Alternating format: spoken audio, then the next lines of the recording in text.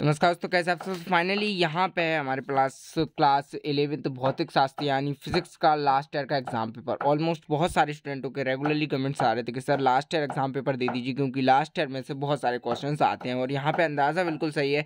आपके जो है लास्ट इंग्लिश का पेपर भी अगर निकला है तो उसमें भी बहुत सारे question last year exam papers में से आए हैं। और अगर आप अपनी तैयारी हंड्रेड चाहते हैं कि भाई हम हंड्रेड टू हंड्रेड क्रॉस करें तो आपको पूरी तैयारी हंड्रेड के लिए सब कुछ आना ज़रूरी है। और दोस्तों अगर आप लास्ट क्वेश्चन पेपर की ओ टी भी अगर पढ़ लेते हैं ना तो इनमें से आपको लगभग ओ टी सेक्टर से सेवेंटी परसेंट ओ बिल्कुल लास्ट ईयर के एग्ज़ाम पेपर्स में से ही पूछी जाती हैं और इसके क्वेश्चन भी आपके लिए बहुत ज़्यादा इंपॉर्टेंट होते हैं।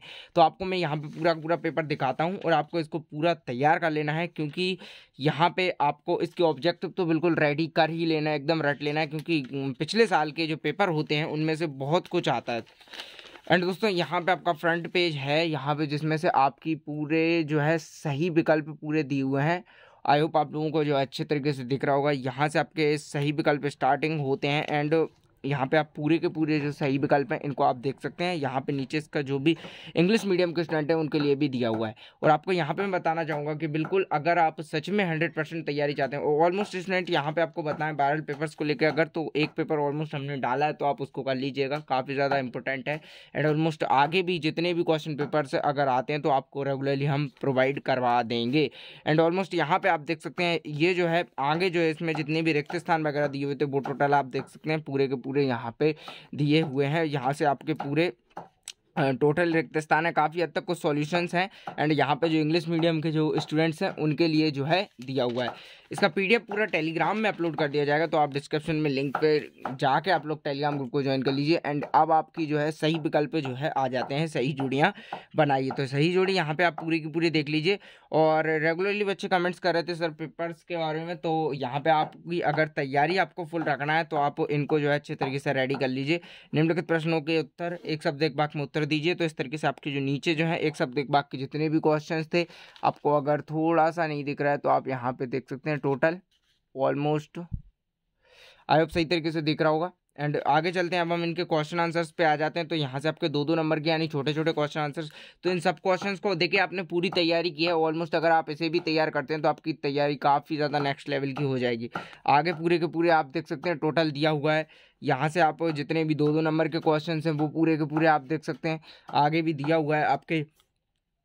यहाँ से दोस्तों, अब आपके तीन तीन नंबर के क्वेश्चन स्टार्ट होते हैं। कार्य ऊर्जा प्रमेय क्या होती है, इसे सिद्ध कीजिए, जबकि बल, अचर होते हैं। तो इस तरीके से करके कार्य ऊर्जा प्रमेय विविष्ट ऊष्मा किसे कहते हैं? इस तरह के क्वेश्चन देखने को आ जाएँगे। आगे अगर हम चलते हैं यहाँ पे तो आगे आपके जो है तीन तीन नंबर के पूरे के पूरे जो है क्वेश्चन दिए हुए हैं, जिसके तीन तीन नंबर के चार क्वेश्चन आते हैं तो चारों के चारों क्वेश्चन यहाँ पे दिए हुए हैं। अब आगे यहाँ पे प्रगामी तथा प्रगामी तरंगों में अंतर बताइए। ये आपका भी तीन तीन नंबर वाला, ये अब यहाँ से आपके बड़े क्वेश्चन यानी चार चार नंबर क्वेश्चन से स्टार्ट होते हैं, जिस तरीके से पंद्रह मीटर से प्रारंभिक चाल की गतिशीलता, ये करके आपको दिया हुआ है। आगे चलते हैं, यहाँ से चार चार नंबर के बाकी के जो क्वेश्चन हैं, वो पूरे के पूरे दिए हुए हैं तो आप यहाँ से पूरे देख लीजिए। ये आपके टोटल दिए हुए हैं। जड़त्व, स्टीफन, ऊष्मा, सरल आवर्त गति किसे कहा जाता है? वायु में ध्वनि का वेग, माध्यम प्रत्यापस इस तरीके से करके ये सभी के सभी क्वेश्चन से आप देख सकते हैं। यहाँ पे टोटल स्टूडेंट्स आगे चलते हैं यहाँ पे। लास्ट पेज आ गया एंड ऑलमोस्ट लास्ट पेज पे आपके बड़े क्वेश्चंस मतलब में पाँच पाँच नंबर के दो बड़े प्रश्न आते हैं तो इनको आपको तैयार कर लीजिए। दो यहाँ पे टोटल प्रश्न और दो इनके अथवा के। चारों प्रश्न में से एक प्रश्न तो आपको इस बार की, यानी टू की जो है इक्कीस आपके तेईस मार्च वाली परीक्षा में बिल्कुल देखने को मिल सकता है। यहाँ पर आप देख सकते हैं, ऊंचाई के साथ जी के मान में परिवर्तन के लिए सूत्र प्राप्त कीजिए। एक तो ये और एक ये वाला आपका ग्रहों की गति संबंधित कैल्पर के नियमों को लिखिए तथा समझाइए। आइए उसके बाद ग्राफीय विधि के न्यूटन की गति के दूसरे समीकरण को प्राप्त कीजिए। उसके बाद वृत्तीय गति करने वाली जो है, वस्तु के रेखीय बेग एवं कोणीय बेग में परिभाषा दीजिए। इंग्लिश मीडियम वालों के लिए भी सेम क्वेश्चंस रहने वाले हैं और अप्रोक्स आपको पूरा का पूरा मैंने दिखा दिया है, इसको आपको रेडी कर लेना है। एंड दोस्तों, इसको अगर आप तैयार करते हैं, काफ़ी सारे क्वेश्चन आपकी पॉसिबिलिटी है। आने की ऑलमोस्ट सेवेंटीन परसेंट क्वेश्चन आपको इसमें से देखने को मिल सकते हैं। इसी के साथ मिलते हैं अगली वीडियो में। अगर चैनल पर नए हैं तो सब्सक्राइब कर लीजिए और दबा दीजिए बेलाइकन को रेगुलरली अपडेट्स के लिए।